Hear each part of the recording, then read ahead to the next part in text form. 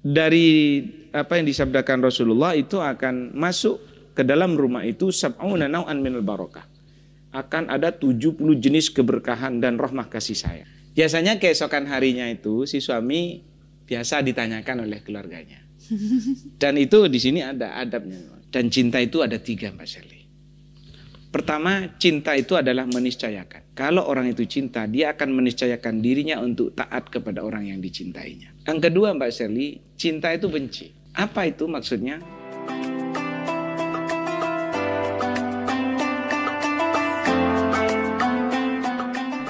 Assalamualaikum warahmatullahi wabarakatuh.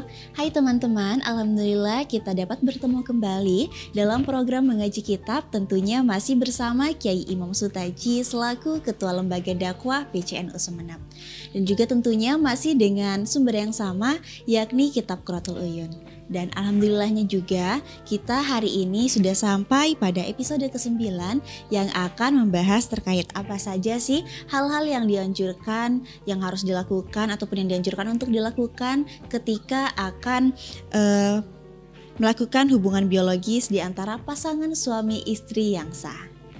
Assalamualaikum Kiai. Waalaikumsalam warahmatullahi wabarakatuh. Alhamdulillah sudah 9 hari Kiai kita berpuasa. Ya, begitu ya. cepat berlalu. Iya. Sudah hampir um, menginjak pada pertengahan bulan puasa ya Kiai. Iya, iya, kurang berapa hari ini? Ada sekitar kurang 6 hari lagi ya. udah 15 kita. Iya. Okay. Nah, dan hari ini kita akan membahas terkait hal-hal yang dianjurkan sebelum melakukan hubungan biologis di antara mm -hmm. pasangan suami istri yang sah. Oke. Okay. Ya, itu ada apa saja nih Kiai? Uh, baik, akan saya jelaskan. Jadi begini Mbak, kemarin kan kita sebelum kalau tidak salah di episode 7 kalau tidak salah ya. 7. Kita bahas waktu yang yang dianjurkan. dianjurkan. Ya. Nah, di situ ada juga hal-hal yang dianjurkan pada waktu itu. Nah, di sini misalnya Mbak uh, Shirley sebelum melakukan itu wa ghaslu kal yadaini war rijlaini fi aniyatin minha fahaka waqtafi wa rashuhu fi kulli ruknin jaa fahfadh ruqital ba'sa wad darraa. Jadi di sini disampaikan sebelum pasangan suami istri arusain dua manten itu masuk ke rumah Ya bukan hanya manten lah, manten laju juga enggak masalah. Manten laju. Manten laju. Pasangan layu, layu. pasangan lama. Iya, pasangan lama gitu juga. Dan sebelum masuk itu apa? Tapi yang ini lebih di di, di kitab ini bahasanya arusah, berarti masih manten. manten. Jadi ini urus manten baru. Uh, apa? Yutlabu minaz zauji aidan waqta duhli qabla yadu yadu anasyat ayyak sila tarafa yadil arusah wa rijlaiha bima'id. Jadi dia membasuh tangan dan kakinya. Tangan kakinya itu dibasuh. Nah, bas, air basuhan tangan kakinya dua mantel itu kemudian dipercikan ke arkanil bait. Cak kasara anu maturen itu Mbak petuh saldo maset. Ke pojokan ya, kamar-kamar. diketes ketes kaki, ya. dipercikan gitu. Nah, itu apa yang di, yang terjadi? Kalau seperti itu uh, di sini sebentar, ini ada lanjutannya. Jadi uh, cok becoknya itu air basuhannya itu dimasukkan fi aniyatin wa yusammillah taala dia kemudian eh, dibacakan bismillah, dibacakan sholawat atas Rasulullah, kemudian di, dipercikan. Dipercikan. Nah, faqad warada anna fi'la dzalika yunaffi syarra wa syaitana bi fadlillah taala. Karena ini akan uh, di antara hikmahnya meniadakan kejahatan setan dan semacamnya.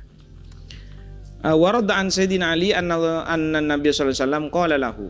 Pernah Sayyidina Ali didawuhi oleh uh, Kanjeng Nabi. Idza dakhalta idza dakhalat al-arusa baitaka fakhla na'laiha waghsal rijlaiha bil ma' wa rashabihi wa rushabihi arkan al-bait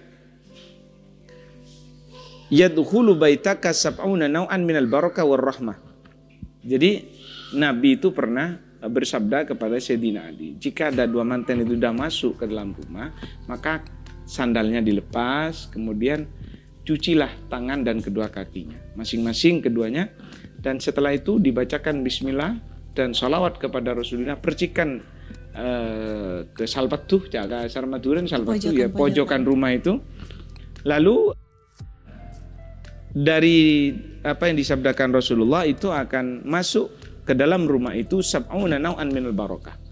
Akan ada 70 jenis keberkahan dan rahmah kasih sayang.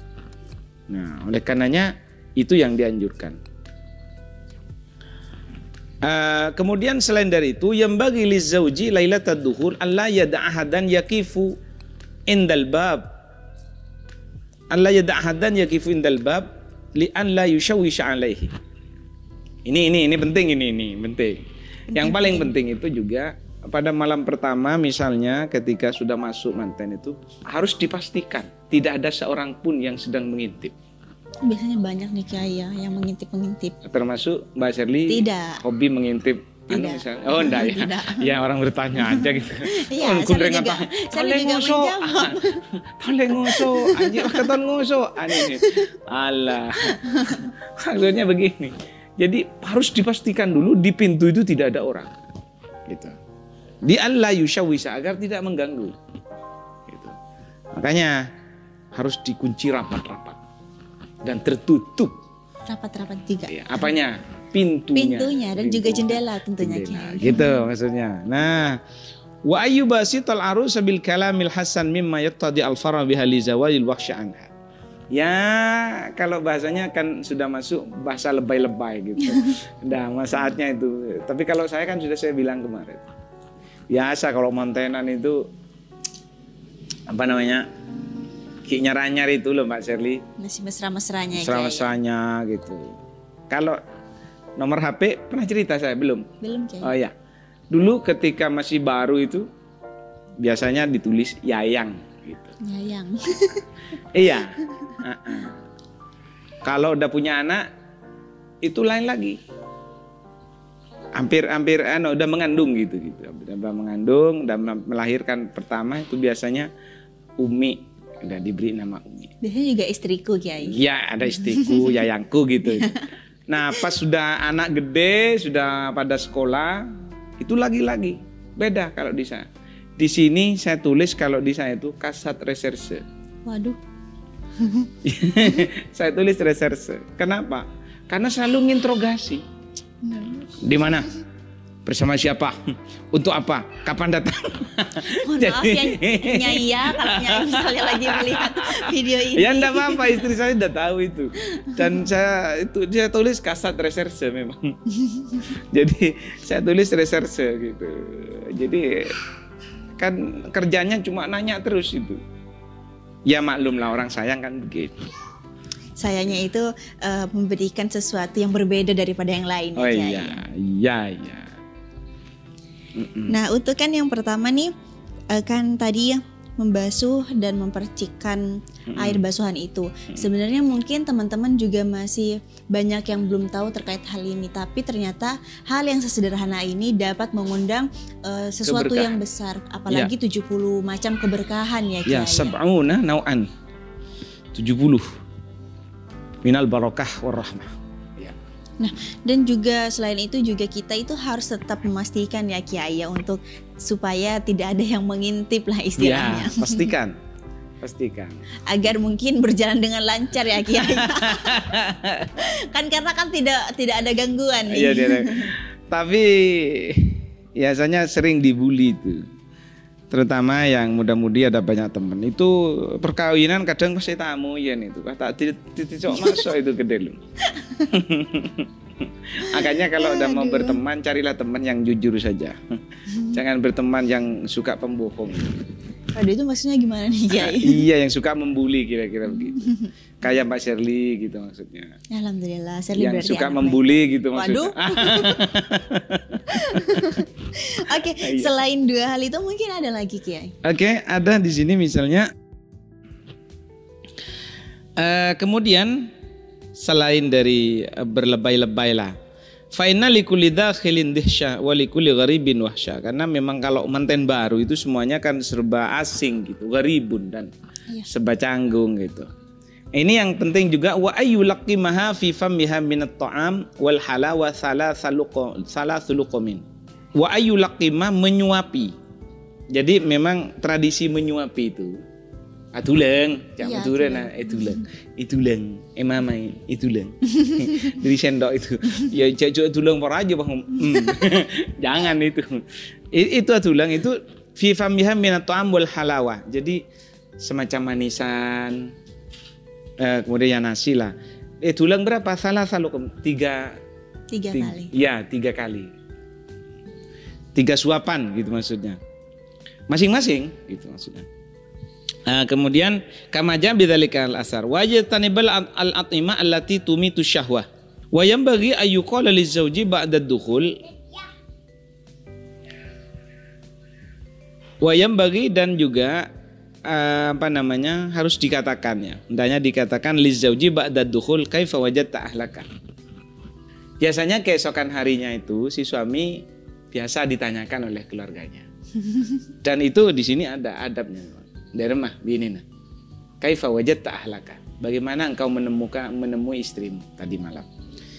Barakallahu laka kama warada wa yusannu li ahliha ayyab'athu ilaiha bihadiyatin yaumasanin uh, yaumasaniyin yaumasanin uh, yaumasani zifafiha wa yazuraha maharimaha thamina zifafiha. Kama fa'ala ibnul musayyab hina zawaja ibnatahu. Dan ini sudah dilakukan Mbak Shirley jadi begini selesai dinikahkan itu biasanya itu kan selake si manten laki-laki itu ditanya dari mah bini nah? Itu bahasa Iya, Maduranya iya. begitu. Kalau bahasa Arabnya kaifa wajadta ahlaka? Bahasa Indonesia gimana istrimu tadi malam? Itu bisa. Iya, iya. Nah di situ barakallahu laka. Itu didoakan barakallahu laka. Semoga engkau barakallahu laka wa baraka alaika wa jama'a bainak bainaka fi khair. Semoga engkau barokah dalam keadaan senang, barokah dalam keadaan susah, dan kau selalu dikumpulkan dalam keadaan uh, kebaikan.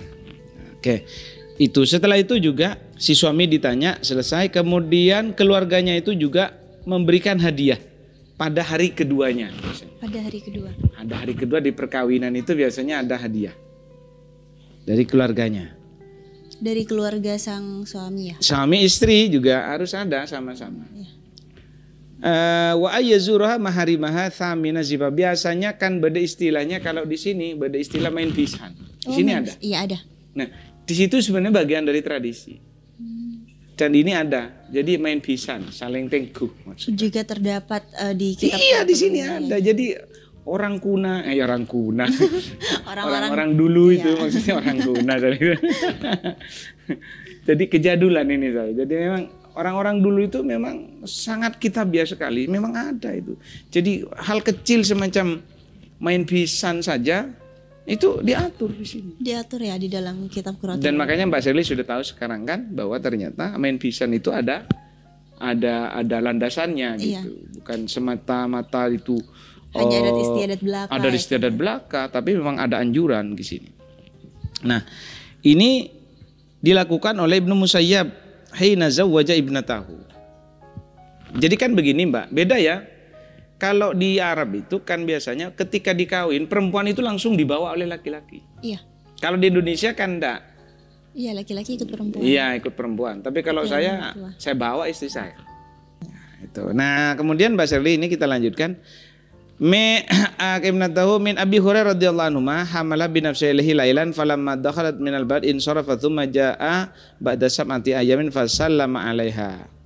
Jadi Ibnu Musayyab ini setelah ah, putrinya itu dikawin oleh seseorang ah, setelah dapat sekitar apa tujuh hari itu datang. Tapi kalau main pisan itu biasanya oleh dua hari bersama dengan memberikan hadiah di sini. Hmm, Di iya. sini kan memberikan hadiah dua hari. Iya. Yang dijengok itu baru setelah tujuh, Tujuh hari. Tetapi orang Madura mengambil kesimpulan itu langsung dua hari itu langsung dijengok sekaligus memberikan hadiah. Itu kan bengibo itu. Mbak. Iya, tapi juga ada sih kiai di beberapa daerah itu masih nunggu satu minggu. Memang ada. Iya. Nah, ya itu ada dasarnya. Itu begitu memang. Nah, itulah Mbak Serli. Jadi apa pun yang terjadi hari ini bukan sebuah kebetulan. Bukan hanya sebuah adat istiadat belaka. Bukan ya, ada Kiai. istiadat belaka. Jadi luar biasa. Bengesepo kita ini luar biasa dan luar biasa saya kira. Memang memang benar super super luar biasa. Dan ingat bahwa dalam Islam itu sebenarnya kita ini diatur luar biasa Mbak Sherly. Mulai dari kita tidur sampai masuk water closet kita diatur dan begitu indahnya. Dan juga ini yang paling penting Mbak Sherly, ini sempat juga di, disampaikan oleh Gus Bah. Hidup itu sebenarnya enggak enggak enggak ruwet. Asal kita menjadi orang yang benar, enggak berniat jahat, enggak dolim karena orang lain, terus kita beribadah semampunya, wes itu sudah cukup. Kita nggak perlu macam-macam. Ternyata banyak sekali ya Kiai ya hal-hal yang dianjurkan nih sebelum untuk melakukan hubungan biologis antara pasangan suami Iya, istri. iya, iya. Nah, eh, sebenarnya juga mungkin ini menjadi hal per- hal yang pertama juga merupakan perdana mungkin ya Kiai ya untuk teman-teman Mm-mm. jadikan referensi. Kadang kan banyak sekali nih teman-teman yang masih Mm. belum tahu terkait hal ini dan alhamdulillahnya di channel kita Kok alhamdulillahnya. iya Dan kan alhamdulillah Alhamdulillah di channel Gitu. kita ini sudah menghadirkan nih eh, beberapa ilmu-ilmu lah dari sumber kitab Quratul Uyun ini sendiri ya Kiai. Ya, insya Allah mudah-mudahan apa yang disampaikan ini manfaat barokah. Amin, amin, insya Allah. Eh, mungkin bisa dicukupkan ya Kiai ya untuk Oke, pertemuan ya episode apa-apa. ke-9. Terima kasih. Nah. Mudah-mudahan manfaat barokah Mbak Ya, Shirley. amin insya Allah. Mungkin dari Kiai sendiri ada yang ingin disampaikan atau mungkin akan memberikan beberapa kutipan-kutipan kata-kata mutiara ataupun quotes Kiai. Oke, baik. Eh, para pemirsa semacam TV yang sangat saya banggakan. Membina rumah tangga itu adalah sebuah keseyogiaan. Dan menjalaninya adalah ibarat kita mengendari bahtera di lautan yang sangat luas sekali. Mengarungi ini harus butuh cinta. Dan cinta itu ada tiga Mbak Shelly. Pertama, cinta itu adalah meniscayakan. Kalau orang itu cinta, dia akan meniscayakan dirinya untuk taat kepada orang yang dicintainya. Yang kedua Mbak Sherly, cinta itu benci. Apa itu maksudnya? Ketika engkau melihat orang itu kamu merasa benci ketika akan dimiliki orang lain. Di situlah benci itu sebenarnya cinta. Dan yang ketiga adalah eh, cinta itu sebenarnya adalah saya dan kamu. Jadi cinta itu adalah saya dan cinta itu adalah kamu. Apa itu maksudnya? Cinta yang kamu maksud ya di situlah cinta itu sendiri dan cinta yang saya maksud itulah yang dimaksud dengan cinta. Oleh karenanya eh, saya harus membiasakan diri pada kebiasaan-biasaan yang biasa saja sehingga saya menjadi orang biasa dan hanya biasa-biasa saja dan tidak pernah membiasakan kepada hal yang tidak biasa. Mudah-mudahan luar biasa. Terima kasih. Mungkin itu saja teman-teman dari Serli dan juga dari Kiai Imam Sutaji eh, terkait episode ke-9 ini yang membahas terkait hal-hal yang dianjurkan sebelum melakukan hubungan biologis. Untuk kalian yang masih bingung terkait syariat-syariat yang telah disampaikan oleh Kiai di episode episode kemarin dan juga episode hari ini, kalian bisa sampaikan di kolom komentar di bawah ini. Tapi jangan lupa untuk di like, comment, subscribe, dan share video ini. Semoga video ini bermanfaat. Terima kasih, marhaban ya Ramadan. Wallahul muwaffiq ila. Wassalamualaikum warahmatullahi wabarakatuh.